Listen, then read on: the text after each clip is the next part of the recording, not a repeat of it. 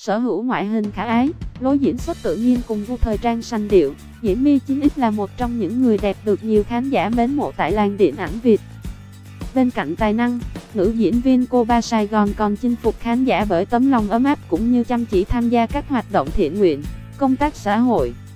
Mới đây, trên trang cá nhân, Diễm My tiếp tục khiến fan cảm động khi chia sẻ đã mua tặng chú Mười Hên, người hùng, cứu 11 người trong sự cố sập cầu Cần Thơ năm 2007 một chiếc xe máy. Món quà không quá vĩ đại, nhưng có giá trị không nhỏ đối với cuộc sống đời thường của chú Mười Hên khi cả gia đình không có phương tiện đi lại.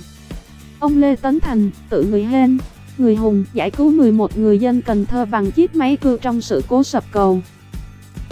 Chú Mười Hên, người một thân một mình cứu 11 người thoát chết bằng chiếc cưa máy cưa bê tông và đưa từng người ra trong khi không một ai dám bước vào khu vực nguy hiểm đó trong vụ sập cầu Cần Thơ.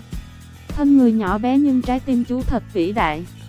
Được biết chú thông qua chương trình Người Bí ẩn và cũng giống như chị Việt Hương, anh Hoài Linh, anh Trấn Thành, Lan Ngọc, Mi cảm mến vô cùng câu chuyện và sự chân thật của chú. Mọi người thật sự cảm phục chú và cầu chúc những điều tốt đẹp nhất đến với chú bằng hiện kim.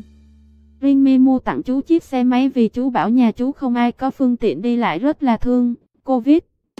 Người đẹp sinh năm 1990 cũng chia sẻ thêm, cô mong muốn nhà nước cũng như các phương tiện truyền thông thường xuyên trong việc tuyên dương những nghĩa cử cao đẹp tương tự để cộng đồng có thêm nhiều tấm gương, nguồn cảm hứng sống. Nguyên văn bài đăng của Diễm My Diễm My là một trong những sao nữ chăm chỉ công tác xã hội của VVE.